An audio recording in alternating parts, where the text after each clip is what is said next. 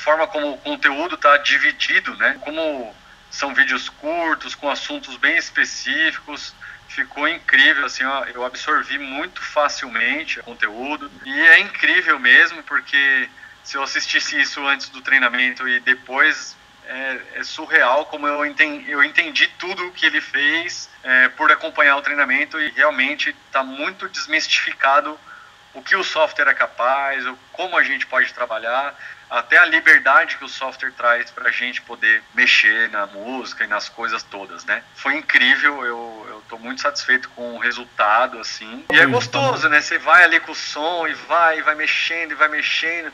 Então, assim, é prazeroso demais, é, é, é muito gostoso você saber mexer na ferramenta. Eu penso num elemento sonoro, num timbre, em alguma coisa que vem na minha cabeça e eu consigo olhar para o software e consigo fazer aquilo no software. Isso é incrível. Alcançar esse objetivo para mim é muito satisfatório. Eu afirmo realmente que curso foi suficiente porque não busquei conhecimento do live fora, então o curso foi suficiente para eu conseguir chegar no final e falar: eu conheço o software, eu sei do que ele é capaz, não conheço tudo, porque eu preciso mexer em muita coisa ainda, mas eu consigo sentar na frente do software sem medo e falar: vou colocar um timbre assim, vou fazer determinado efeito, quero esse tipo de coisa, já sei aonde eu vou encontrar. É, por mais que eu não conheça, eu posso pesquisar porque eu já sei o caminho aonde eu posso achar as coisas que eu queira fazer. Estou muito feliz com o resultado que eu cheguei no final e,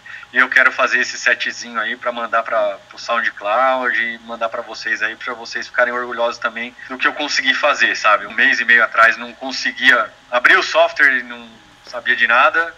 E agora eu consigo abrir o software, sei onde estão as coisas, consigo fazer o que eu quero, é, com muita facilidade, porque esse é o negócio do software, né? Não tem os equipamentos ainda, que os equipamentos eu acho que ajudam bastante a evoluir nesse processo, que eu acho que é uma coisa que eu vou ter que galgar aí para conseguir. Às vezes vem aqueles insights na cabeça, nossa, eu podia ter uma musicazinha assim, fazer um negócio desse jeito.